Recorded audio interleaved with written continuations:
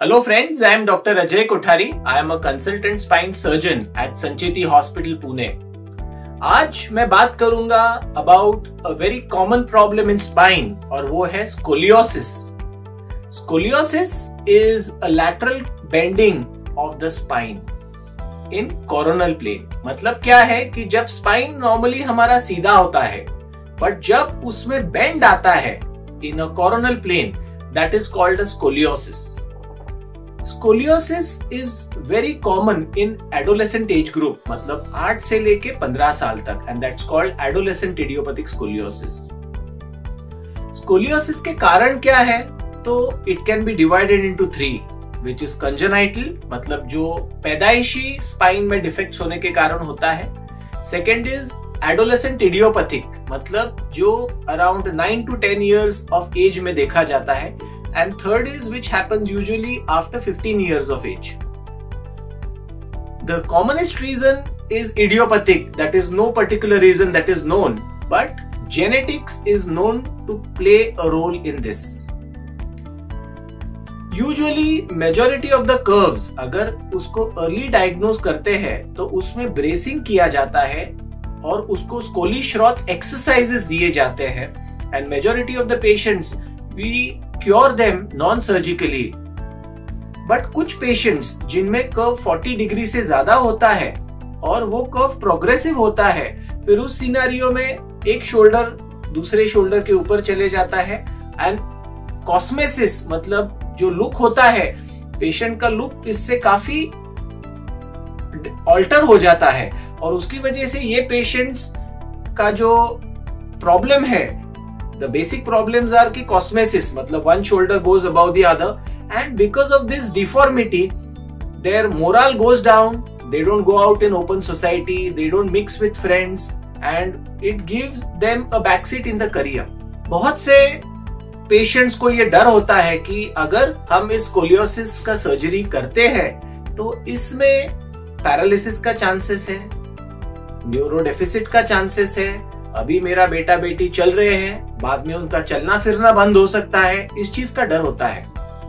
But मैं इस माध्यम से ये कहना चाहता हूँ कि we must have operated over 200 scoliosis patients till date और इस कंडीशन में with the advent of modern technology जैसे हमारे पास इंट्रा ऑपरेटिव स्कैनर है, जिसको ओआम बोलते हैं neuro navigation so that wherever implant हम पुट करते हैं we get a real time image and it is in front of us तीसरी इंपॉर्टेंट चीज़ है विच इज़ न्यूरो मॉनिटरिंग कि जब ऑपरेशन चलता है हम spinal cord monitoring round the clock करते हैं जिससे ये जो डर है उसकी संभावना ना के बराबर है। सो so, आज हमारे साथ है वेदांग। वेदांग की उम्र है 22 टू ईयर्स ऑफ़ एज उसको ये प्रॉब्लम नौ साल पहले डायग्नोस हुई थी। पर He tried all medications, exercises, belts, physiotherapy, but उसका प्रॉब्लम बढ़ता जा रहा था उसको स्पाइन में स्कोलियोसिस था and he was completely tilted like this finally he decided to get operated and at the age of 22 he came to us 8 years after the diagnosis of his problem और हमने इसका surgery किया we could get almost hundred percent correction of इस bend spine पूरा सीधा हो गया। और जो वो पहले पूरा टिल्टेड था अभी पूरा सीधा हो गया है। आज इसका डिस्चार्ज है। He was operated three days ago and after three days is going home हमने जिस दिन इसका सर्जरी किया उसके अगले दिन इसको खड़ा करके हमने चलाया। सो so, वेदांग और उसकी मदर है। आप क्या कहना चाहेंगे वेदांग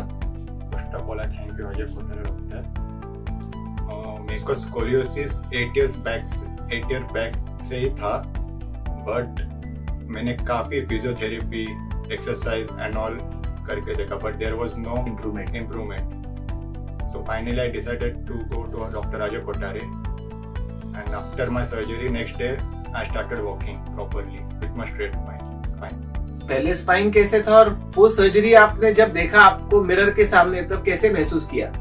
पहले स्पाइन पूरा मतलब वन साइड टिल्टेड था left left side and after surgery uh, full spine was straight. Straight.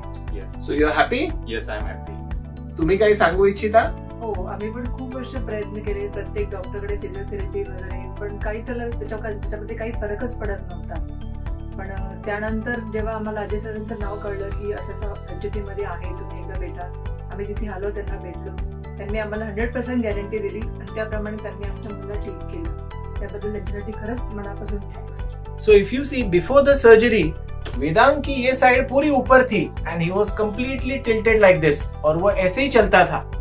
And after the surgery it's only the fifth day today and you can see both the shoulders are absolutely well balanced he is absolutely straight और nobody will be able to recognize. कोई ये पता भी नहीं कर सकता है कि इसका स्कोलियोसिस का सर्जरी हुआ है because you can see the amount of correction he is absolutely straight can you just turn around पीछे से भी there was a complete scoliosis and जैसे मैंने बताया, ये शोल्डर इस शोल्डर के ऊपर था. But now front back side you can see he is absolutely straight thank you very much